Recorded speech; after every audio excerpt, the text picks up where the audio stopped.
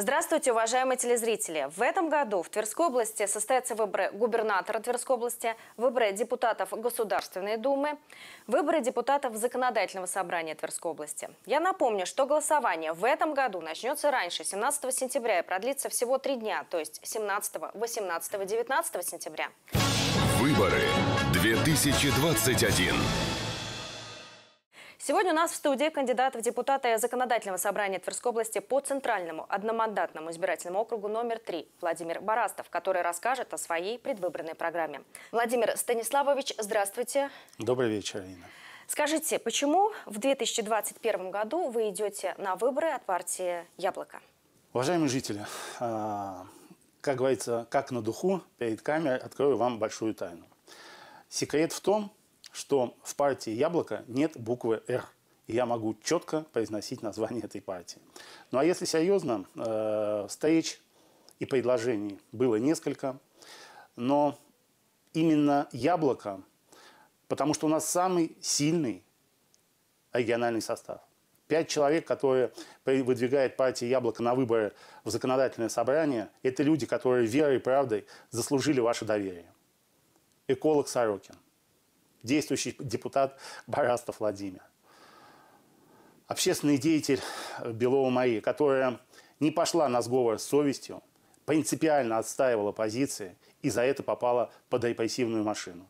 Арарат Гулян, молодой предприниматель из Оржева, который, можно сказать, придумал э, вид спорта, которым занимаются не только в Тверской области, но и за пределами.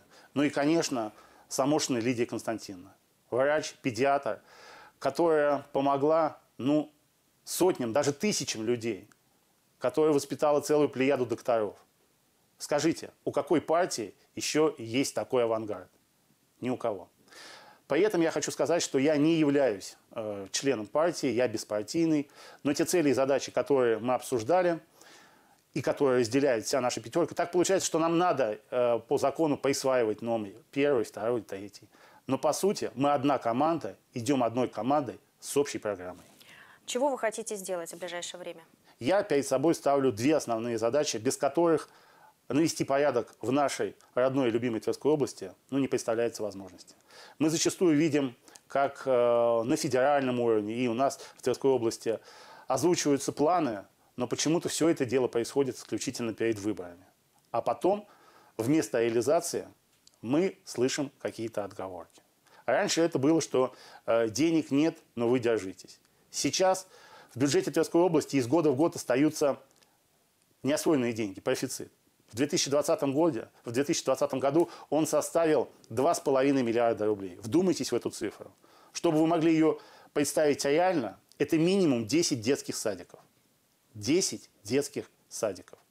Но э, я, как действующий депутат, знаю проблемы не понаслышке, и поэтому я хочу решить вопрос с тем немногим, что осталось у наших жителей Тверской области. Это ваша недвижимость, ваше жилье, на которое э, позаились и открыто присваивают себе выплаты в виде сбора на капитальный ремонт. Остатки в фонде капремонта за 2020 год составляют 2,5 миллиарда рублей.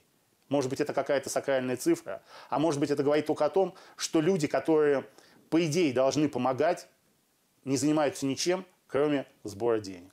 И вторая э, моя задача, основная, с которой я иду, как действующий депутат Законодательного собрания, заместитель председателя Комитета по экономической политике и предпринимательству, это поддержка предпринимателей. Мой девиз – только люди дела создают рабочие места. Их не создают э, административные работники, чиновники.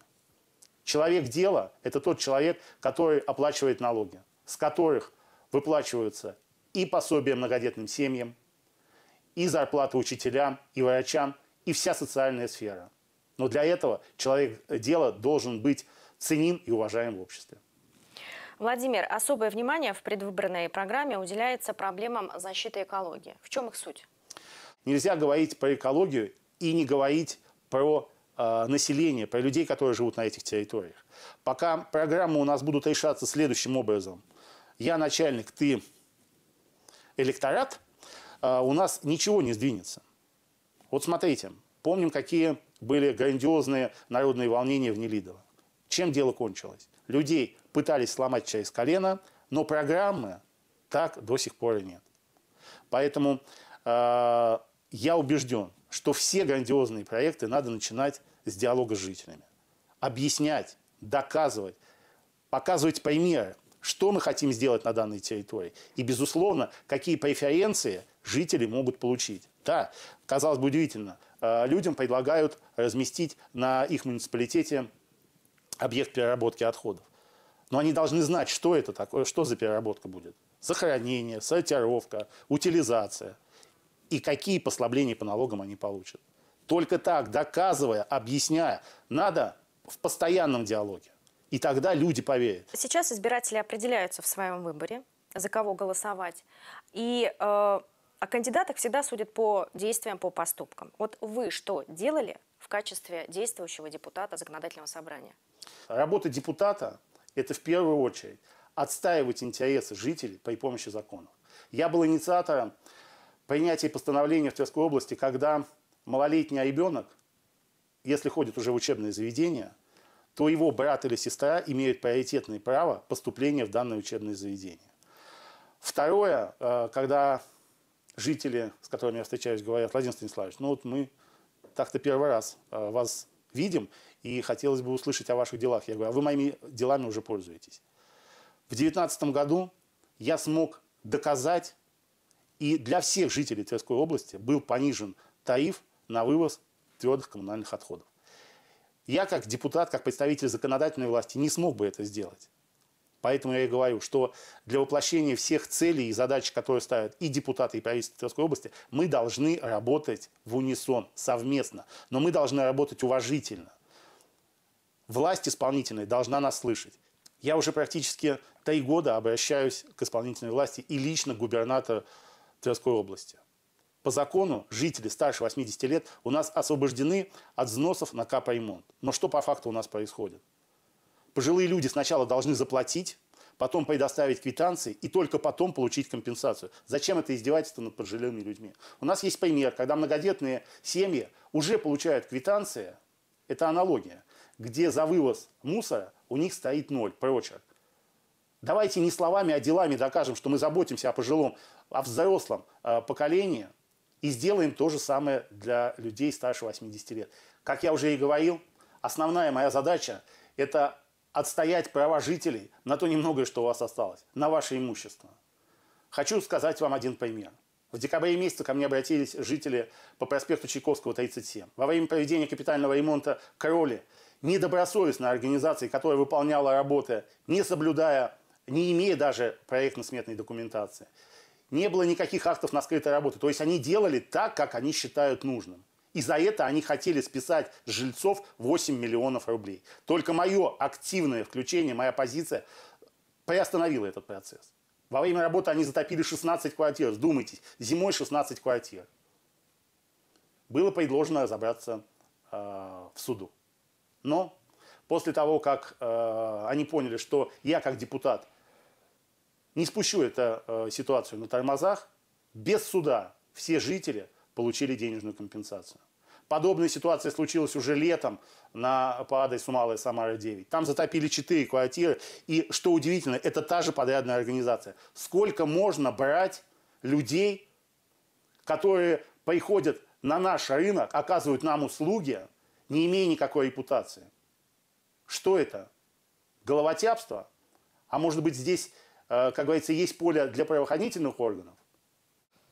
И в завершении все-таки каким должен быть э, современный депутат, который э, работает в законодательном собрании Тверской области? Почему все-таки вы идете на выборы? Объясните еще раз. У нас э, представители многих так называемых оппозиционных партий занимаются тем, что критикуют власть.